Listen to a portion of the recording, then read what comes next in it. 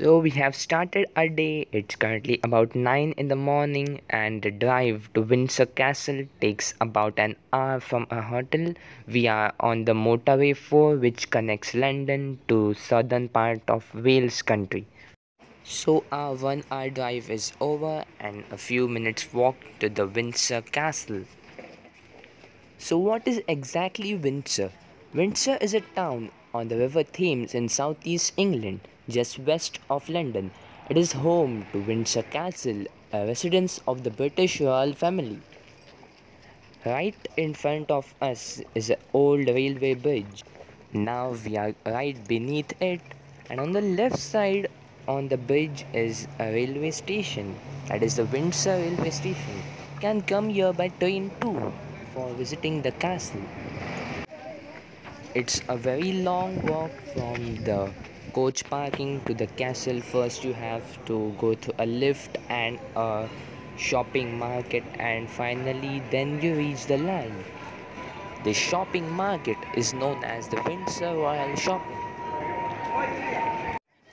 And after the long walk we are in the line and on the left is the majestic windsor castle the Windsor Castle is the weekend home of the Queen of the United Kingdom. There are separate entrance lines for individual tourists and group tourists. And as we are the group tourists, we have a shorter line to enter the castle. The royal wedding, the wedding of Prince Harry and Meghan, took place in the St. George's Chapel in Windsor Castle on 19th May. I'm really impressed with the construction of these houses. They are really cute and beautiful. The state apartments.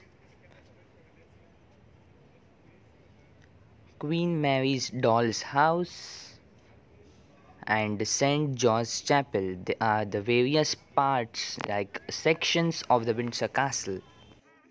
We have reached castle on the right time and we are lucky enough that we are going to see the changing of guard ceremony.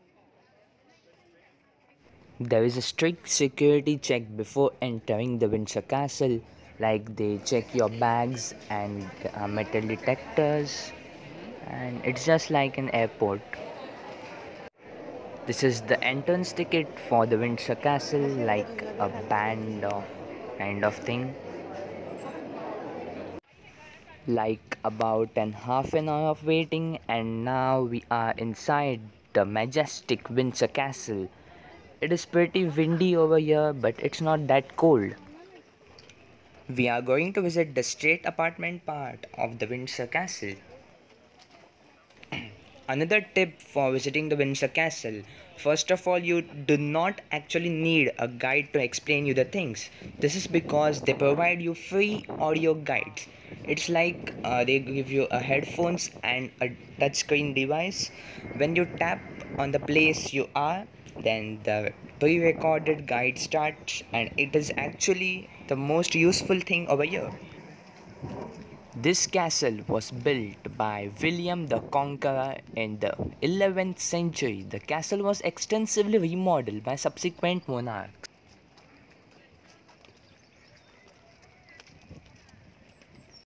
You can see that the flag on the top of the castle is not actually the British Union Jack. This indicates that the Queen is currently inside the castle. Tourists are not allowed beyond this point as the Queen actually lives here.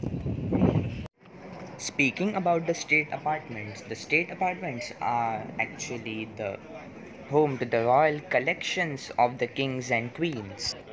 As this is a royal place, photography is not allowed inside the buildings and I will just specify you what uh, we had seen inside the building.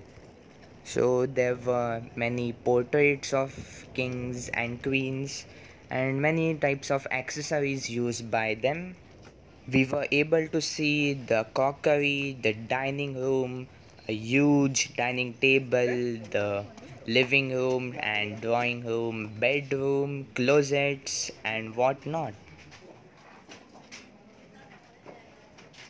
I need to stop my recording at this point See you back at the changing of guard ceremony.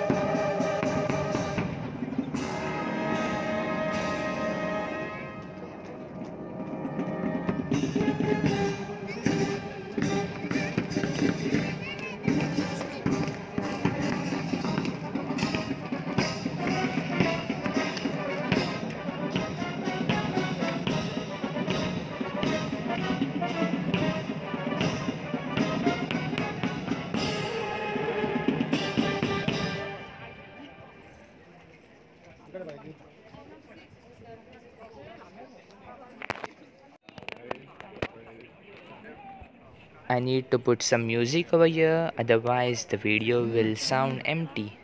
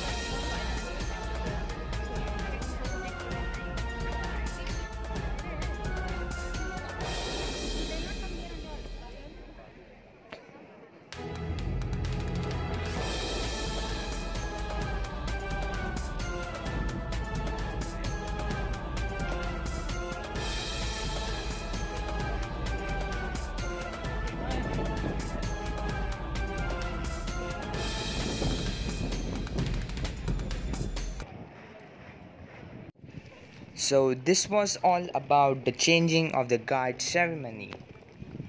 Another important thing I need to tell you is that you can actually click photos with the soldiers, that is the red coats, but don't dare to click selfies with them as it is considered like a disrespect for them.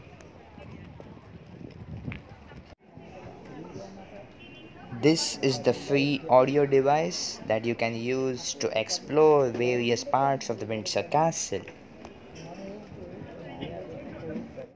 Our visit to the Windsor Castle is done. We have to drop our headphones right on the left, and now we are proceeding towards our lunch.